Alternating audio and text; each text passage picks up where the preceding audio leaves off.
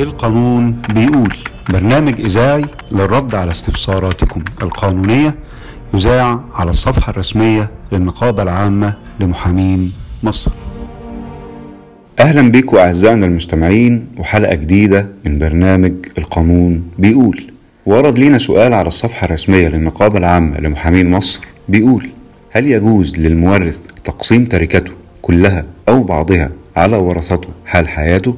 أجاز المشرع في أحكام القانون المدني وقانون الوصية قسمة المورث لتركته كلها أو بعضها على ورثته حال حياته على وجه المصلحة التي يراها حيث نصت المادة 908 من القانون المدني على أنه تصح الوصية بقسمة أعيان التركة على ورثة الموصي بحيث يعين لكل وارث أو لبعض الورثة قدر نصيبه.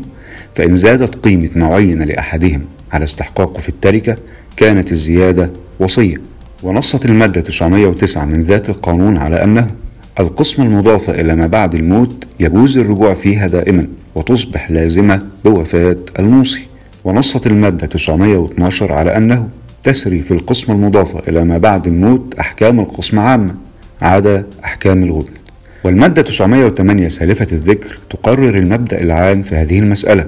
وهي منقولة من المادة 13 من قانون الوصية رقم 71 لسنة 1946 والتي جرى نصها على تصح الوصية بقسمة أعيان التركة على ورثة الموصي بحيث يعين لكل وارث أو لبعض الورثة قدر نصيبه وتكون لازمة بوفاة الموصي. فإن زادت قيمة معين لأحدهم عن استحقاقه في التركة كانت الزيادة وصية. بتعرض هذه النصوص تمكين المورث في توزيع ثروته حال حياته إما في صورة وصية أو في صورة عقد قسمة مضافة إلى ما بعد الموت.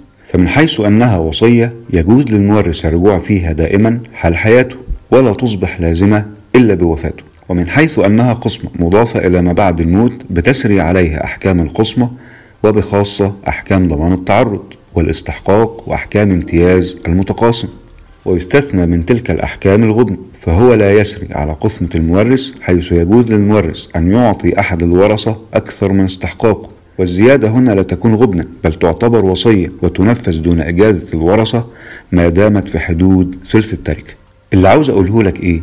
الأصل هو ألا يقوم الإنسان بتقسيم ثروته حال حياته قسمة التركات لما قد يترتب على ذلك من مفاسد كثيرة.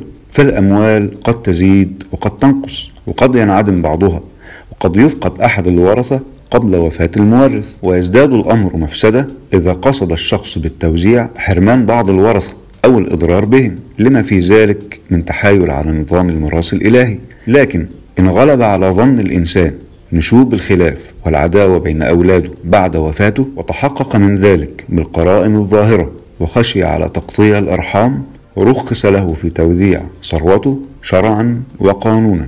فتكون على سبيل الهبة شرعا ووصية. أو قسمة مضافة إلى ما بعد الموت قانونا. إن الالتزام بأوامر الشرع يجفف منابع النزاع ويحافظ على سلامة الصدور وصلة الأرحام والأموال قد تزيد وقد تنقص. وفي النهاية نتقبل كافة استفساراتكم القانونية على وعد بالرد عليها في أقرب وقت. كان معكم تامر صادق المحامي بالنقد.